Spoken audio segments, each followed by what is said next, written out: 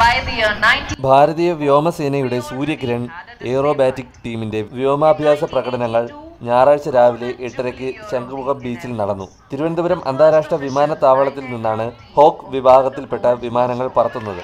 ഈ പ്രകടനങ്ങൾ കാണുന്നതിലേക്കായി ശംഖുമുഖം ബീച്ചിലേക്ക് ജനസാഗരമാണ് ഒഴുകിയെത്തിയത്. ഓരോ പ്രകടനങ്ങളും കാണികൾ ഇരുകൈ നീട്ടിയാണ് സ്വീകരിച്ചത്.